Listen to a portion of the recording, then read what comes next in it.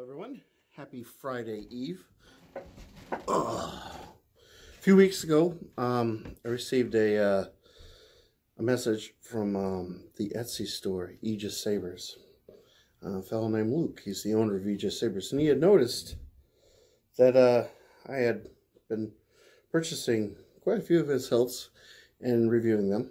And uh, so what he asked me to do uh, is review a brand new hilt that he's going to be selling on his website, um, his Etsy store, fairly soon. And it's called the Guardian V2. So all I asked was that I was critical and gave an unbiased and um, honest accounting of uh, of what I received here. So uh, it arrived. Hopefully my address didn't show uh, for long enough to matter. I'll blur it out. Uh, let's do this. There we go. I don't know what side it was on. Actually, it just shows his address. And that. Hmm. All right, I'm safe. uh, yeah, so came in, uh, you know, your standard LGT uh, style box with the uh, Aegis Sabers logo. And what's supposed to be in here is kind of a, um, a, uh, Here's I could tell a Rahm Kota style hilt. And from what he told me, I think these will come in different finishes uh, with different colored leather wraps. Now, if you go to the Aegis Sabers uh, Facebook page, he has a picture of one of these hilts. And um, and I'll put uh, links to the Etsy store, and I'll put a link to uh, his Facebook page and uh, and all that stuff. And you can see this uh, saber um, for yourself on his page. I asked him basically just send me exactly the same thing that he had on his uh, on his site. So um, the other thing is I don't know what soundboard this comes with. I'm assuming it comes with the Eco Smooth Swing soundboard. We'll see. I have a blade at the ready. Uh, he didn't have blades available when he shipped this to me, but that's fine. I'd rather he uh, saved on some shipping, and uh, I don't really need blades. I've got plenty of blades, and I have preferences uh, for the blades that I use. So we have uh, the uh, standard, you know, care package with instructions, and uh, you have your extra, um, you have your extra screws and blade retention screws, and uh, Allen key is in here. Recharge cable, standard fare, and uh, here's the hilt. And uh, here we go. So, initial reactions, it's a little bit smaller than I thought it would be, but it's quite nice. I'm looking at the finish, and usually, a lot of the times, these sort of finishes don't look all that great because if you get in there and you, you can kind of see the paint. But on this one, the paint it it doesn't really look like paint. It actually looks metal. It's it's painted metal, but it's done quite nicely, and I'm I'm really pleased with it. I'm really pleased with the finish. Uh, so you have a, a D-ring. This is very similar to the D-ring. In fact, it's exactly the same as the D-ring on my Outcast. So you can see that. And it has really nice detail on or rather it's picked out in uh, in silver, chrome, what have you here. It's a very nice finish. It's sort of um, it's gray, but it almost looks like it's got a slight tint of blue in it. But it's definitely gray. But it's a really it's a really fetching gray. I like this a lot. I like the details. I like the details in the pommel. It has the same kind of cutaways as my Outcast too. Just the little uh, just the little kind of slots cut out in the pommel and uh, for some reason that just works. The uh, the wrap, uh, it, I must admit, it looks a little haphazard on here, but it doesn't seem to feel like it's going to come off or anything. So this is functional. This will definitely work. Um, I'm going to go grab my uh, Grossman's ruler so we can get a sense of what the length of this thing is. Bear with me one sec. All right, so how long is this thing? It is, uh, yeah, just about nine and uh, nine and seven eighths inches long. So it's it's a little bit on the petite side. So it's definitely a, a one-handed hilt, to be certain. Again, you got like another silver uh, silver bit here. This, uh, yeah, this is an LGT produced saber, so I imagine that this will come apart right here, and we can get a sense of what we have for the um, the soundboard. It is uh, it is uh,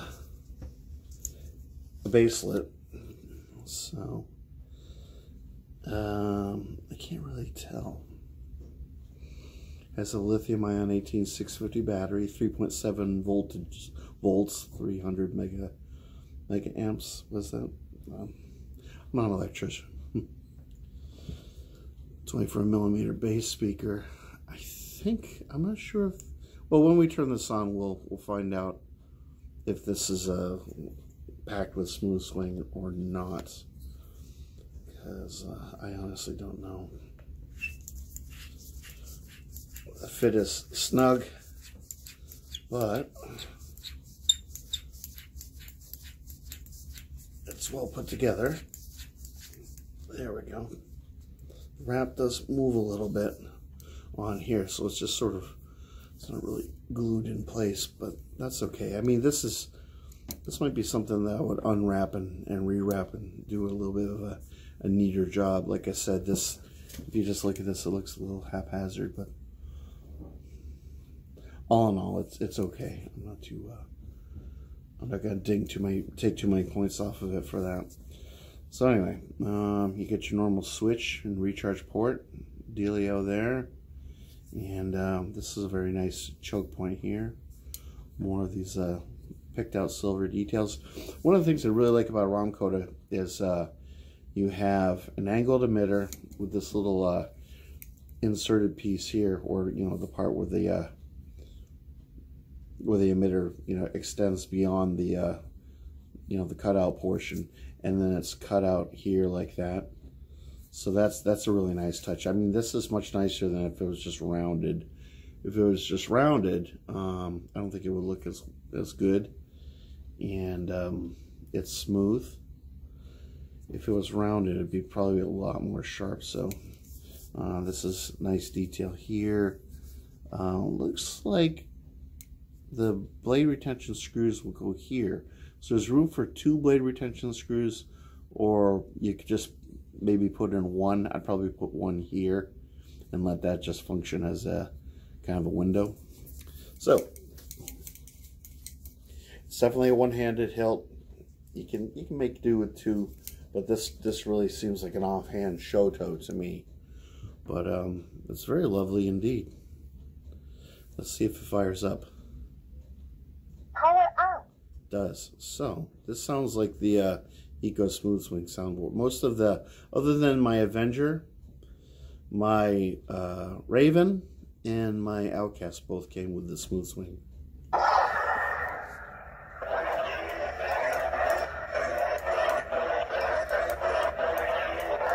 Nice. Ooh. Let's get a blade in there. This blade is going to be a little bit heavy for this thing, but it's a saber forged blade. Just it was what, what I had, what I had on hand. I just got out of work. I'm hungry. I'm tired. I'm sore, and um, I'm surprised I'm able to speak at all. And so let's see. These are all the different screws and whatnot that uh, came in here. So let's just grab one of these short ones. Put that out to the side. Let's see, how deep? Eh, blade depth, not too much blade depth. So I'll definitely want to use uh, eventually a, a very a much lighter blade because this this being a heavy blade is going to flop around a bit in there, unfortunately. But it is what it is. What are you gonna do, right?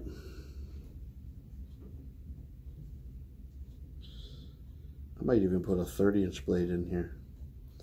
I've got a couple uh, I've got a couple candidates to be uh, cut down to 30 inches. I think a 30 inch blade would, would kind of feel better in this. Like I said, it's kind of, it has a offhand kind of vibe.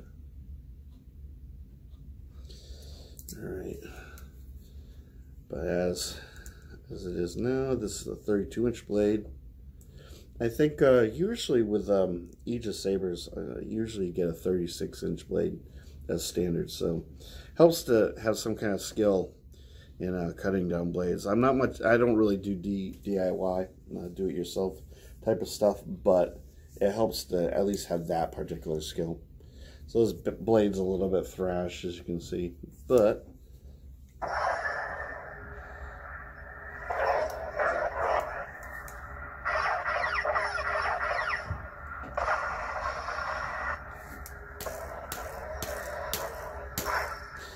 As with most of the uh, Eco Smooth Swing soundboards, and this this blade's really struggling in here. It's kind of it's moving forward on me. Yeah, I really need to put a, a much lighter blade in here. Um, you really have to wail to get it to respond. Now, one thing, let's check it out. The uh, volume seems a little bit on the soft side, but.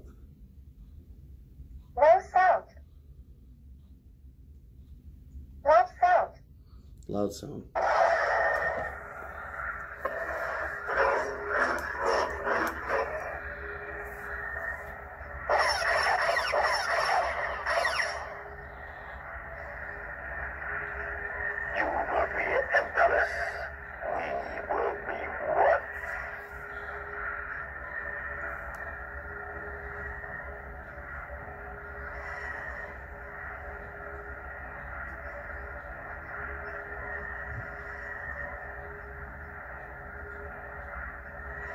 I'm setting it to red.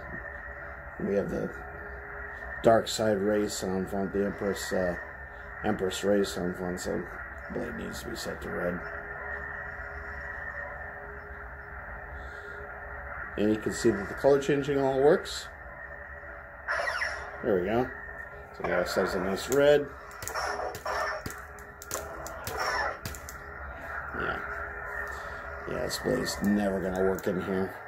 You can see it's kind of pitching forward a bit. It, it's just it's just too there's only that much blade depth.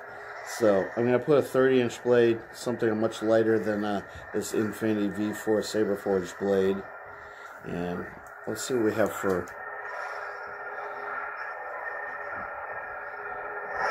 sound. Rey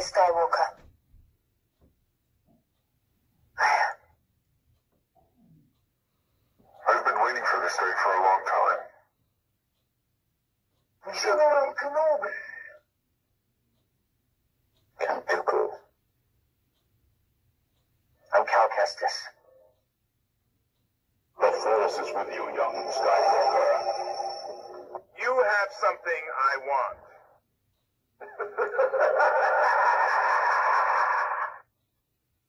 Rey Skywalker. So maybe it was on I don't know what font it was on. But it has the standard 9 fonts. So it does come with the uh, uh, LGT's Eco Smooth Swing soundboard, so that's nice. Uh, anyway, this blade is just bothering me. It's not working at all in here.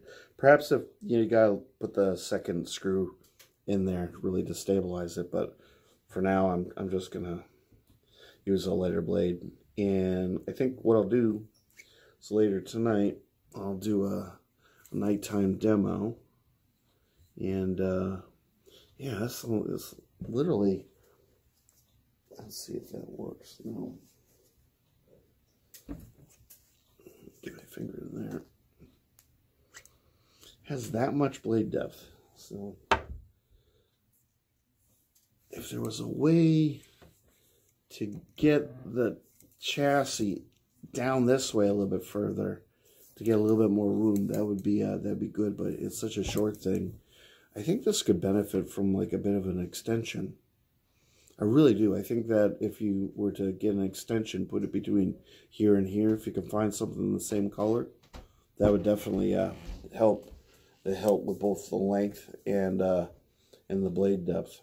But as it stands now, um, it's a really pretty hilt. I, I like it. It'll be interesting to see what the price point is for this on uh, Aegis Saber's website. I, until I get a, a, decent blade in here and really, you know, swing it around a bit and see how uh, see how this blade depth uh, functions. I'm gonna, like I said, use two screws, get that ni nice and stable, and um, I'll do a demo and and then we'll see. So um, I'm gonna leave it at that. I'm just gonna give you guys a bit of a close up of this. This is called the Guardian V1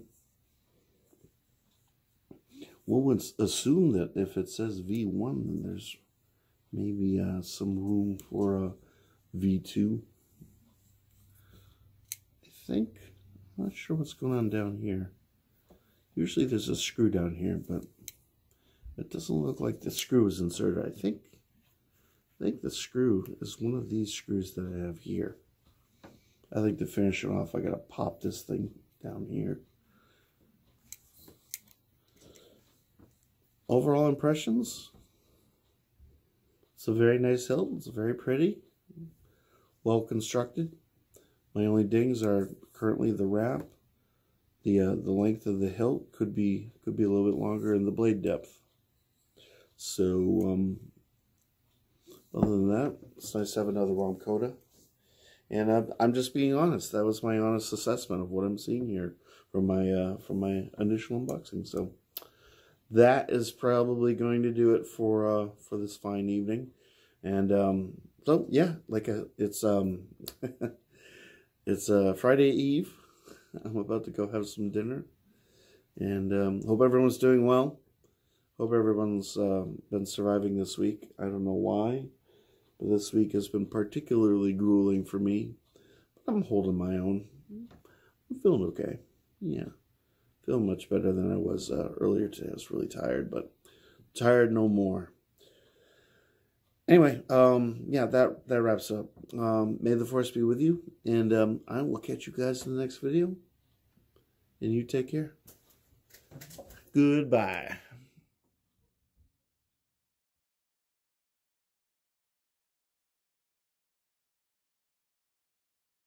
Bit of an addendum to uh, the video. as you can see, I uh, put a much lighter uh, Ultra Edge uh, blade. This was uh, like a 40 inch blade. I cut it down to uh, 32 inches and I have it secured with the two blade retention screws here. So kind of, it, it, it's in the hilt kind of at a little bit of a V angle, but that could just be an illusion. I think it's just basically the the pressure from the blade retention screws are kind of pushing in the blade a little bit because I, like I said, I used a, um, a mid, well, I didn't say, but I used a mid-grade blade. But just to a demo, uh, this isn't really meant to show off the brightness, just the fact that you can uh,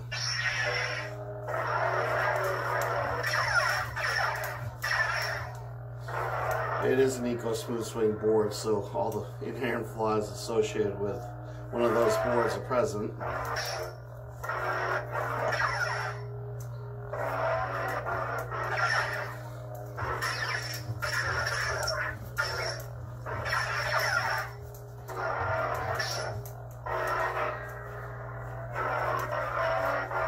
The, the blade is secure.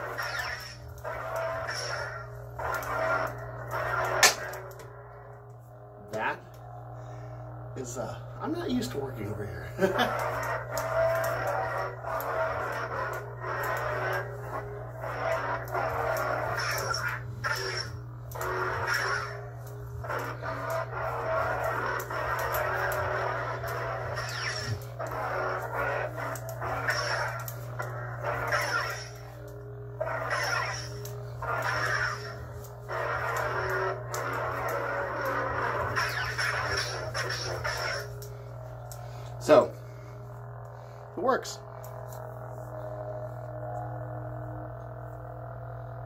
This is on the General Kenobi font. Blade is secure.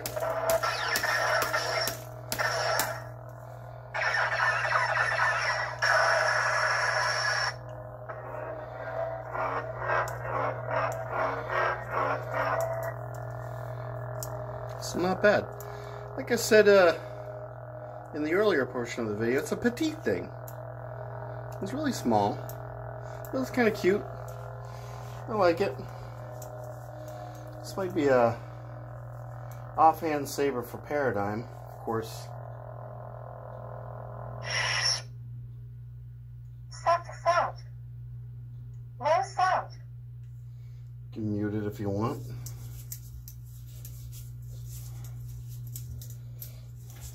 If you prefer. Anyway, addendum to the video, complete.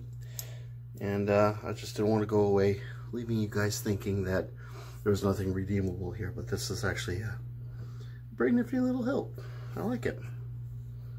Anyway, Darth Paradigm signing off.